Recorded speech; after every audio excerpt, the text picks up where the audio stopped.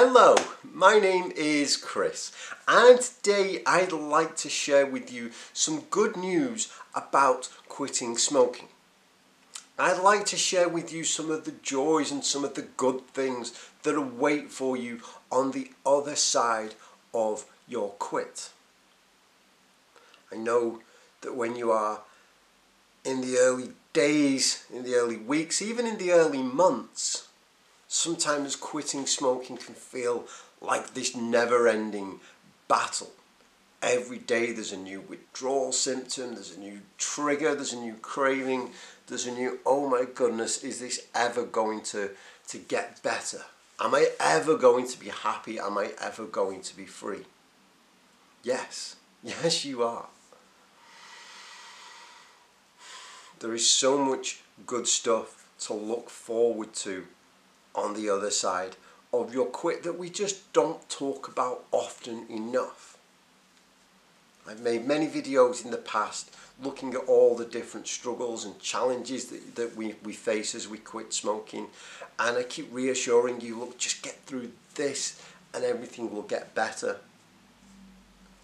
but we don't spend enough time talking about how it's going to get better and there are lots of, of obvious things, or oh, I say obvious things that, that everybody talks about, you know, that, that we have, that we can benefit from when we quit smoking. Like we all know that when we quit, we'll have more money in our pockets and less poison in our lungs. We know that the further away we get from our last cigarette, the more we reduce the risk of, of heart disease and lung cancer and all that other horrible stuff. But that's often not enough to motivate some of us. I'm reminded of when I used to go to, to certain 12 step meetings and there'd be really angry old timers then to be going, if you drink, you will die. Right? Which is true, but what they never said was, but if you get sober, you will live like you have never lived before. And I think the, the same very much applies to quitting smoking. Quite often, all of the the literature and the promotional campaigns and stuff, it's all focused on if you continue to smoke, you will die, and all these horrible things will happen to you. Yes, I can't dispute that, but let's focus more on look, if you quit, lots of amazing things will happen. I'll share those things with you in just a moment, but before I do, I just want to very quickly say thank you to those of you who showed up to my first live stream, was it like a week ago now? I gave you like 25 minutes notice and more of you turned up than I expected and I, had a, great time talking with you all. I know some people were kind of sad that they, that they missed it, but again, I didn't give you much notice, so that's my fault. But I'm giving you plenty of notice for the next one. I'm going to do another live stream on Wednesday, the 15th of May at 8 p.m. UK time. I will figure out what time that is in other countries and, and post it down below. So you've got plenty of notice for that. Plus, it's the day before my birthday, so bring cake. okay, let's get into some of the good things that await you on the other side of your quit. The first piece of good news that I can give you about quitting smoking is that eventually your relationship with cigarettes will end completely. There will come a time when cigarettes are not only not a part of your life, they're not a part, they're not a part of your thought process. There comes a time even after we smoke our last cigarette, we are very conscious of the fact that we are not smoking.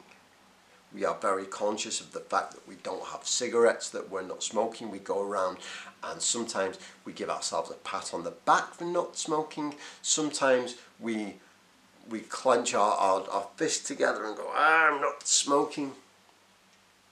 We see people out on the street and they're smoking and, and we're constantly reminded of the fact that, that we used to smoke but are in the process of quitting.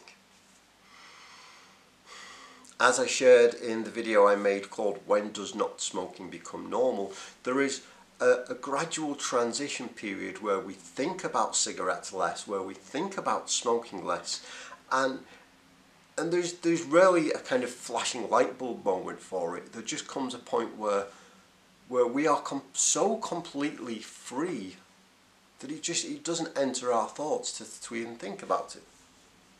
I think about cigarettes I'd imagine more than anybody else who, who is like two and a half years smoke free.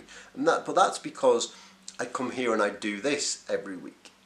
But even now, my, my relationship to cigarettes is completely different. I don't think about maybe I should have one. I don't, you know, when I go out on the street, I don't think, oh, I'm not smoking. My sort of thought process now is more like, what can I take from my experiences that I can share with you and hopefully help you. One of the things that I can share with you is the absolute joy of being able to breathe in lungs full of deep, fresh air. There used to be a time somebody would say to me, okay, take a deep breath, and I'd go. And that was the best I could do because it was like my lungs were so full of gunk and poison and tar that I couldn't get enough oxygen into them one of the, the the things that caused me to you know to say, do you know what? I love being smoke free so much that I'm going to go on YouTube and try and you know support other people to enjoy what I have. Was I was outside and I just stopped and took a deep breath, and for the first time, probably since I was a teenager, I felt all this fresh air go all the way down to the bottom of my lungs, and I just took a big, deep, satisfying breath. It was one breath, but it felt so good. And it continues to feel so good. When I can breathe properly, I can relax better. When I get stressed or tense or angry, I can do breathing exercises better so that I feel calm. I can breathe in all the good stuff. Breathe out all that tension and stress and anger. When I have fresh air coming into my lungs, when I have more oxygen in my system, I feel more awake, I feel more alert, I feel more alive, which is why quite often in my videos I will encourage you go outside, even if only for 10 minutes, and get some proper fresh air, get some proper oxygen into your lungs because it makes you feel really, really good. It makes you feel calm, relaxed, and peaceful. I'm not saying that you are going to go around on a pink cloud for the rest of your life being completely zen all the time. but just getting a few breaths of fresh air every now and again is going to do you the world of good. And trust me, when you quit and you get that, that feeling of, of all the fresh air in your lungs, it will be a feeling like you never had when you were quitting smoking and your lungs were so full of gunk that you just couldn't get the fresh air in.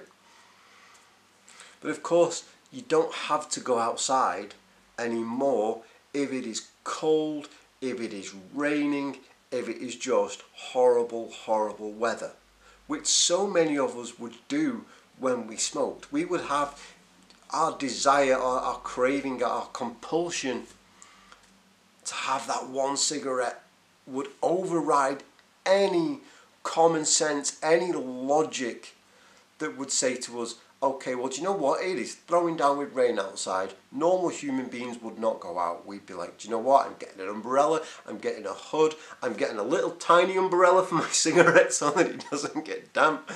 And um, that thought has just really made me laugh. And I'm going to go and smoke this cigarette in the rain. I'm going to stand there and I'm not going to be able to get my lighter going because because it'll be wet, but I will stand there and I will stay there until I do it. And I, I don't care how miserable it makes me, I need my fix. The good news about quitting smoking is that we don't have to do that anymore. I remember just after Christmas, I was looking after my parents' dog, and I took the dog for a walk early on this morning. Uh, not this morning, sorry, earlier on one morning when I was there, and it was about 6:30, 7 a.m. in the morning, and it was like I say, it was just after Christmas, so it was dark, it was cold, it was wet, it was just a horrible morning. I didn't really want to be outside at all, but you know, I had to take the dog with me. And I remember I walked past this house and there was a woman and she was sat at her in her garage with the garage roof open smoking a cigarette. She had her, her pajamas on and a dressing gown and she was sat there like kind of like uh, shivering cold and smoking a cigarette and when and she made a conscious decision to do that. She had this beautiful warm, I, say, I assume it was beautiful, beautiful warm home that she could have chosen to be in, but the compulsion and the need for nicotine was so strong that she chose to go outside on this cold, horrible morning and smoke. And one of the best things about not having to, to you know, now that we've quit smoking, we don't have to do that anymore. We can make better decisions. We can stay inside where it's warm. And then when the weather comes nice, we can go outside and breathe in all that fresh air, get some exercise, feel more energized, more alert, and more awake. Of course, one of the best things about not having to go outside in the rain and not having to go out in all conditions just to get our fix is how much time we save. One of the very first videos I did on YouTube was um, five things that nobody tells you will happen when you quit smoking. And in that I mentioned then about how much time we save, not just through smoking itself, but through all the other stuff like we have to go to the shop and buy cigarettes. Then there's always that thing where we lose our lighter and it's hidden in some random place that we would never have thought of all that time taken up by smoking that we could be spending doing so many more interesting, healthy, and productive things. I actually sat down and did the maths on it. Or if you're American, I did the math on it. and it worked out just through, say, all those times when we have to go outside and smoke, and smoking is our main activity. If we smoke 20 cigarettes a day and each cigarette takes us five minutes to smoke, then that is 100 minutes every day. I'm looking at my phone because I wrote these numbers down because I would never remember them. It is 100 minutes a day or 700 minutes a week, which is 11 hours and 40 minutes every single week that we are not smoking.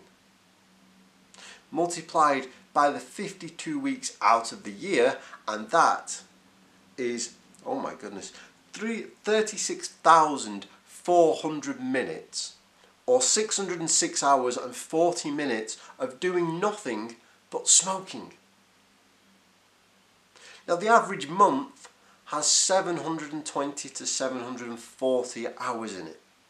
So that means that for every full year that we smoke cigarettes, we are spending the better part of a month doing nothing but being outside smoking.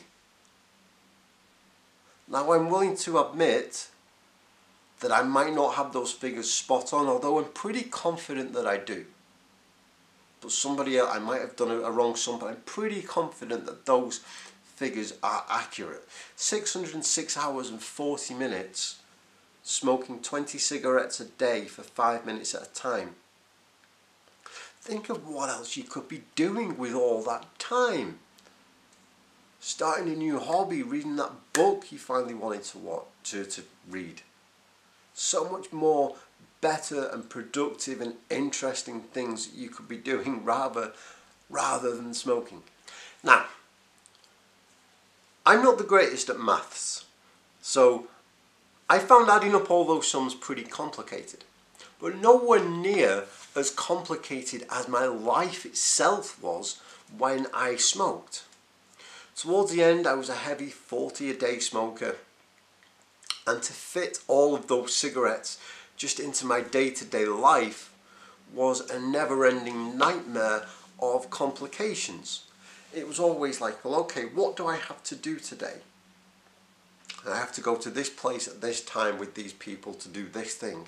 So I had to start factoring in when can I smoke? I would have to do the whole thing of, well, it's 9.55 p.m. and the store shuts in five minutes. Do I have enough cigarettes to last me until morning? Or do I have to now go and do the mad dash to go and get smokes? And then they'll last me. There were so many complications that I had to think about when I was busy smoking. I was reminded recently of the, the most not necessarily extreme, but one of the most I can't even think of the word, a situation where it just occurred to me how much smoking controlled my life, which was in the airport. I go through security, and then rather than just being able to relax and enjoy the experience of being at the airport and going somewhere fun on an adventure, I would be okay. Now I've got to go all the way around the airport on this side of security and find somewhere to smoke. And normally it was in a little tiny room with like 50 other smokers, and you would stink and cough, and it was just a horrible, horrible experience. I remember one time I was in, I think it was in Chicago airport, but it could have been somewhere else. I know it was definitely in the United States somewhere, where they didn't have anywhere that you could smoke once you cleared security. So I went all the way around the airport looking for somewhere to smoke and couldn't. And smoking controlled my life to the point that I thought, you know what, screw it. I'm going to leave the airport, smoke a cigarette, and then go all the way back through security again. What a nightmare. These days, when I go somewhere, I go through security, I go and sit down and just relax and enjoy the experience. These days, cigarettes do not control my life and they don't throw up half as many complications as they used to. In fact, no complications. I don't know why I said half as many. They don't throw up any complications in the way that they used to. Life just becomes easier to deal with. When it gets late at night, my first thought isn't how long do the shops shut and do I have enough cigarettes to last me until morning? My first thought when I wake up in the morning isn't, okay, what have I got to do today and how can I fit smoking into today? If I'm going somewhere with a friend and they don't smoke, then I've got to fact to to add an extra complicated step to my journey to figure out how I can get away from them and go and smoke. And I don't have to do that anymore. Life is so so much easier. And here's one more final joyful thing about quitting smoking is that the whole process of quitting itself makes you stronger. Many people say, and I'm one of them, quitting smoking is the hardest thing they have ever had to do. Now, first of all, I want to remind you that prior to quitting smoking, something else was the hardest thing that you had to do, and you did it. So you already have a 100% success rate of doing the hardest thing that you have to do, which means that you can quit smoking as well. Then once you've quit smoking, somewhere down the line, I know I'm talking about lots of wonderful, interesting and exciting things happen to you once you quit smoking. But somewhere down the line, life being life, there will be another challenging situation that occurs. And that will be the hardest thing you've ever had to do in your life. And you'll be able to say, well, do you know what? At one point, quitting smoking was, and I got through it. So if I got through that, I can get through this. The process of quitting smoking made me stronger, it made me more resourceful, it made me more grateful for having this beautiful smoke free life that I have today. And because of all that, I can do absolutely anything.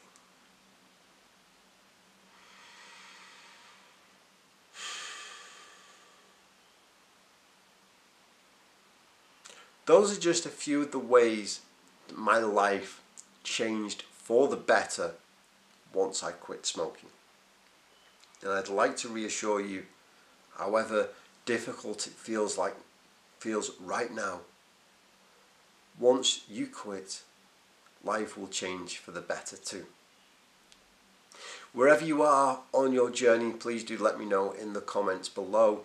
If you have successfully quit and you are enjoying smoke free living, why not let me know and let other people know what are the happiest and the best parts of being smoke free. I would certainly love to hear from you. Again, that reminder we'll do the next live chat on Wednesday, the 15th of May at 8 pm UK time. For more videos like this on a weekly basis, please do consider subscribing and of course, if you would like more support on your quit smoking journey, please do come and join us in the Finding Freedom Facebook group, facebook.com slash groups slash finding freedom one. I hope you found this video helpful or at least comforting in some way. Thank you so much for watching. I'll see you next time. Goodbye. I know, I settle down, settle down. Alright, okay, camera. I know, I know. Oh.